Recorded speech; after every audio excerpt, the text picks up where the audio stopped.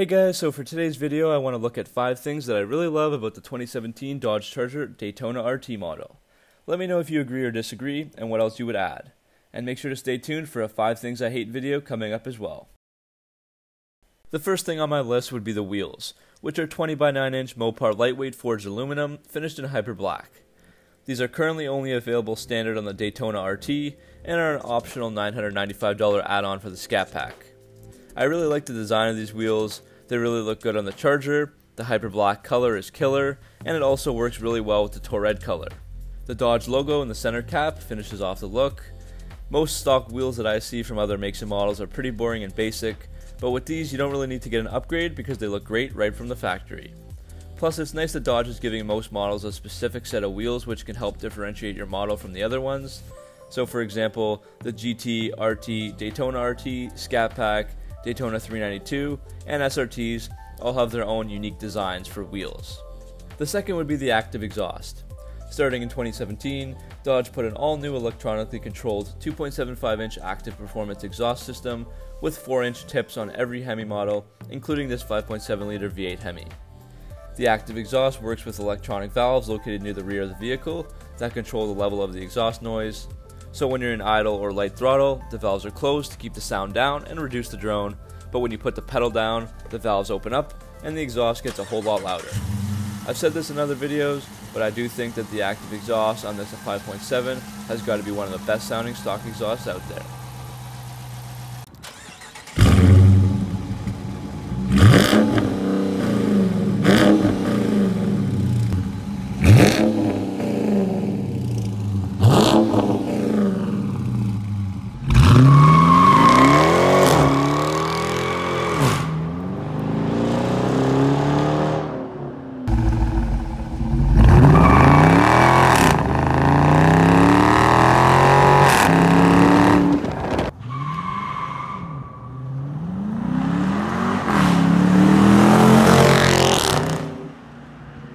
The third would be the distinct and unique heritage styling on the car.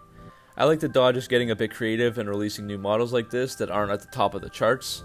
Obviously, there are Hellcats at the top that stand out as a Charger, but as you work your way up the list of other Charger models, most options are pretty similar. Bringing back the Daytona models in 2017 added some nice flair to the Charger lineup and allowed more people to have a special model. Not everyone can afford a Hellcat or SRT, but with more mid-level models like the Daytona, more consumers can truly feel like they have a unique version of the Dodge Charger, even if it's not at the top. You're getting awesome looking decals and exterior features on the grille, hood, roof, and spoiler that make the Daytona stand out from other Chargers, and I think this is awesome for car enthusiasts.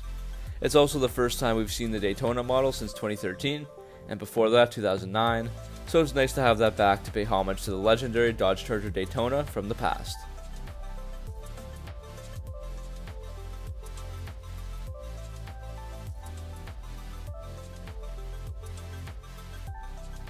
Another thing I love is that the Dodge Charger is such a unique sedan with no other true competitors. There are no other muscle car sedans or anything quite like this in the large car market for between $35,000 to $40,000. Most other large sedans are all switching to smaller 4 and 6 cylinder engines, and in this price range there are expensive Toyota and Kia sedans and base level luxury sedans from Audi or Mercedes. The Charger gives you a mix of everything for your money that you just can't find in the other cars. There's a big V8 sedan with a lot of power and performance, a mean, menacing, and beastly look, a respectable interior, and a thriving Mopar community to go along with that. The Daytona RT to me is like if you morph together a muscle car with a base luxury sedan. The last thing on my list is that at the end of the day, this is a practical car that you can use as a daily driver in all four seasons, year round, plus have some fun with it on the side. The gas mileage isn't awful, rated at 16 city and 25 highway. It's actually pretty good for a V8. The MDS feature on the highway will turn off four cylinders, so you end up getting better gas mileage than most older V6 models. It's also a large sedan with lots of room. The back seats are really spacious and so is the trunk. This would be a great road trip car, and you never have to worry about friends fitting inside the back seat. On the flip side, this is a quick car that also responds well to mods and would be fun on the track. The Mopar community, as I've said, is really great, and it's easy to find car meets or even make YouTube videos about your car since so many people are interested in them. There's also lots of aftermarket support, and tons of mods for the 5.7 Hemi, so you can end up customizing just about everything on the car if you wanted to. It's a rare breed that turns heads, but can also double as a family sedan.